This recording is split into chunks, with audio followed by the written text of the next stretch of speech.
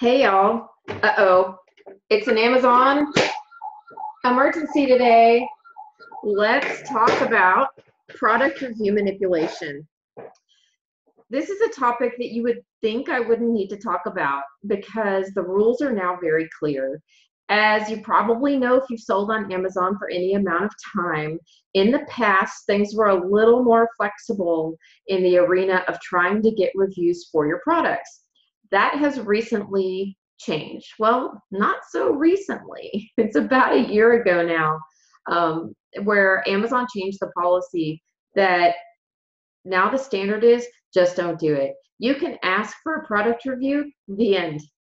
You can't offer anything in return, can't give free stuff. Got to be really careful.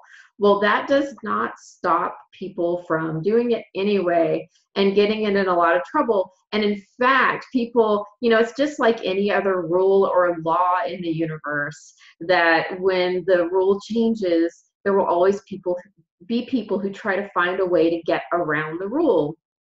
So the way people try and get around this rule, it's gotten really creative lately. Um, one thing we've seen people do is run Facebook campaigns and in the Facebook campaign, it'll say, if you liked our product, click here.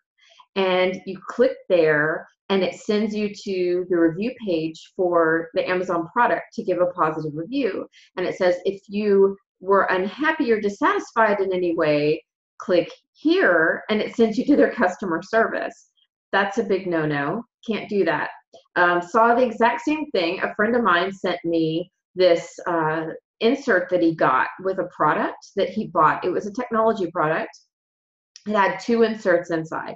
One of them said, Congratulations, you were chosen for a free gift. And it included a mini cable and then a mini USB. And then the other one said, and this was like super cool the way they set it up. It had two QR codes. And it said, if you're happy with our product, scan the top QR code and if you do that, it sends you to the review page. And then it said, if you have any questions or you're unhappy, scan this QR code, sent you to their customer service page. So since I'm seeing a lot of this out there, I just wanted to clarify the rules. You can't do that. Um, every customer has to be treated equally. You cannot in any way choose a group of customers that you believe are happy and ask them for reviews and then have other customers that you think might not be happy and not ask them for reviews. Um, that also includes the idea of asking people who give you positive store feedback for a review.